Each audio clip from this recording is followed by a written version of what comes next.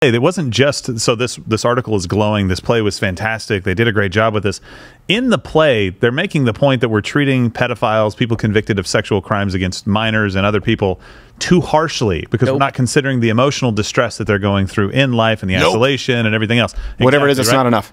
Here's the one part of it too that just makes it even worse. One of the play's characters is a victim of one of the guys who's living in this basement in a group of people that are living together.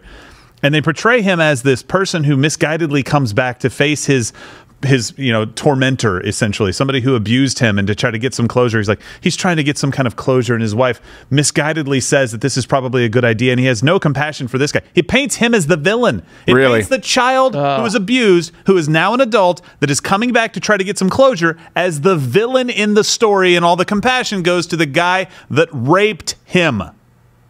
This That's is, what this play does. This is far more prevalent in our society than I think people realize.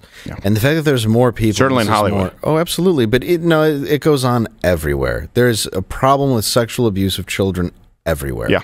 And the reality is, is the more people there are, the more this stuff is coming to light because somebody who made this play or is behind it or is producing it has an agenda. Yep. I firmly believe that because Oh, there's too much of this Dave. crap going on. It's right oh, there, of right? course, Yeah. yeah. It's a it's a conspiracy, even though you're watching it. Yes, Yeah. exactly.